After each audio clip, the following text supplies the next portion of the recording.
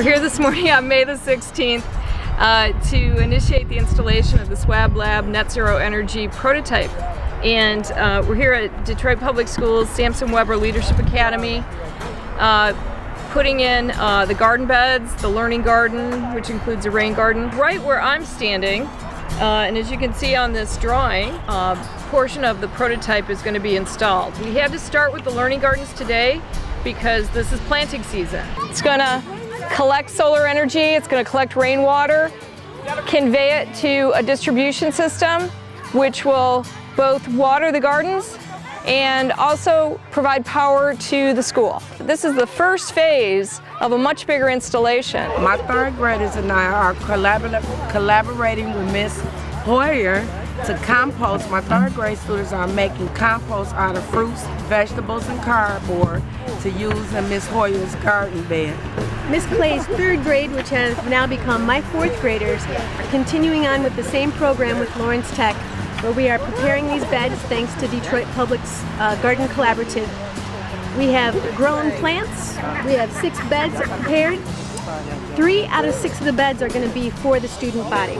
The other three are going to be for the salad, the stop and go light salad, which will be presented right in our own cafeteria for the kids to eat. So this is a wonderful hands-on collaborative program with Lawrence Tech, Detroit Public, the Garden Collaborative, and Ford Motor Company.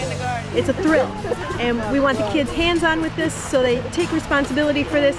This will be growing all summer long. Community is invited to partake in it.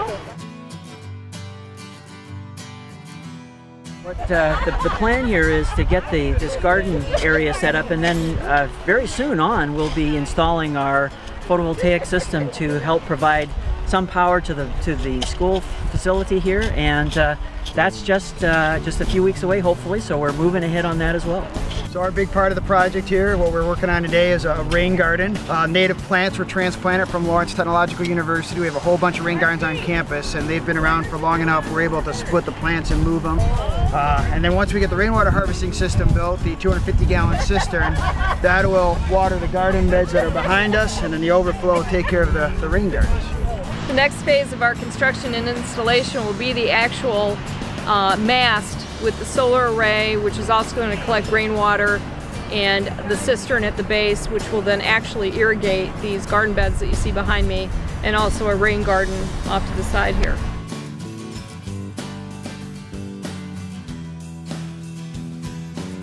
It's May and we're getting everything ready right here at our garden. As you can see behind me is an activity that the fourth grade is doing. We're preparing our garden. Currently, we have 60 different things growing in this garden. So we're putting up signs to show the importance of what this garden is all about. This isn't just for us. This is for all of us. And we're asking that any community that live in the area to come join us this summer, not only to help weed, but to harvest. You help out, you take home some of your own fruits and vegetables. This is an awesome opportunity.